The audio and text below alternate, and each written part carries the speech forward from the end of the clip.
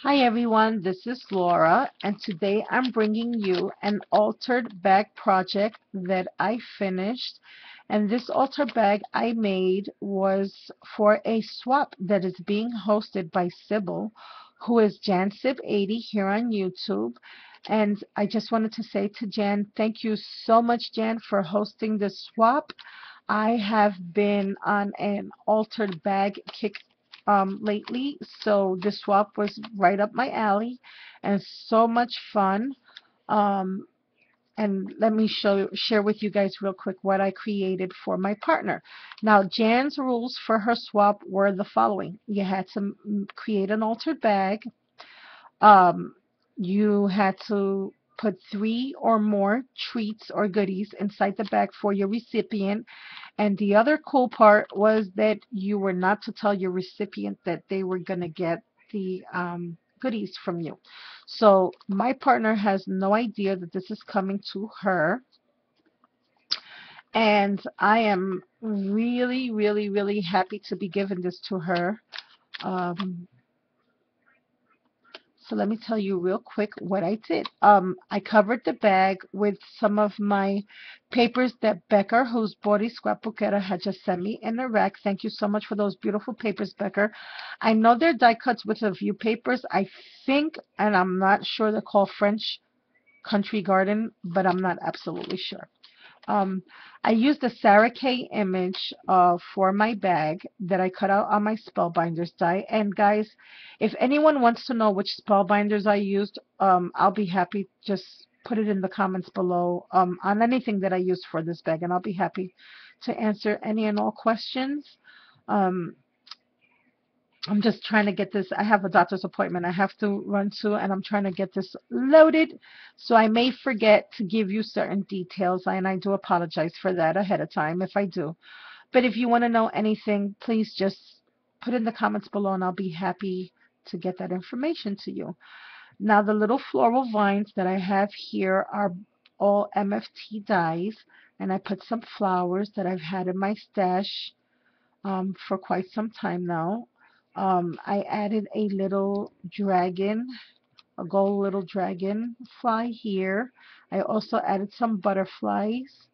And to the image, I colored it with my Pro markers. I added some bling. I distressed everything with um, worn lipstick and spun sugar. My Tim, um, my distress inks by Tim Holtz. Um, I added some teeny tiny baby pearls to the pocket, to the lollipop, to the hat, and as well to the shoe. I added some stickles.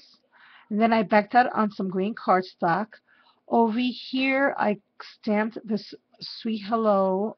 Um, I cut out a banner, stamped it on some white cardstock, or pink cardstock rather and I added some flat back pearls. I put that up on some pop dots as you can see there and I also colored it with some Perfect Pearls blush.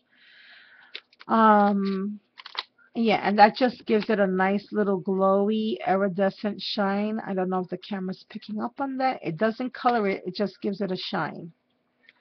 And I also added the Perfect Pearls to her name. I created a little um, tag here with her name.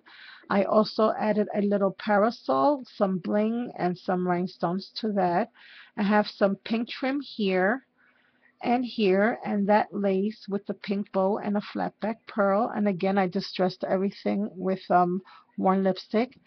Over here in the corner, I have some of my metal flower embellishments that I created. And I also have a little leaf that I cut out on my spellbinders with those fabric flowers that my hubby bought me that I also colored in that blush. But it doesn't really give it that much color. It gives it more of a shine, not so much color. It's a very, very light iridescent color. And to the back of the bag, I added some more trim up here. Here I added some pink flat back pearls and some more pink lace. Um, over here in the center, this is one of my Justrite stamps, and it says, the road to a friend's house is never long. And I stamped that out with worn, lips, uh, worn lipstick, my distress inks.